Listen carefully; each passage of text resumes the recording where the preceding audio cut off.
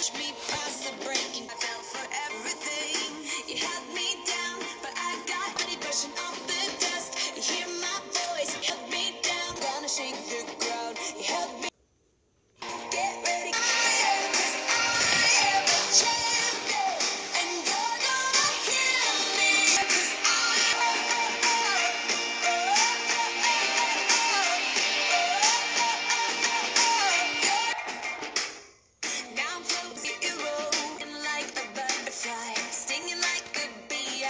past.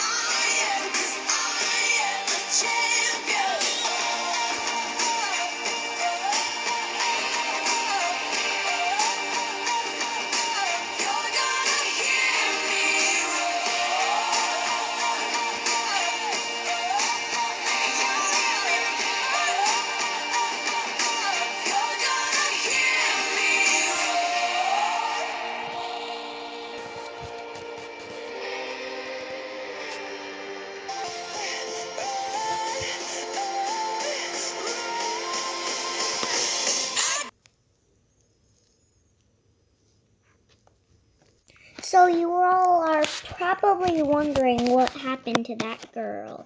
So I'll show you.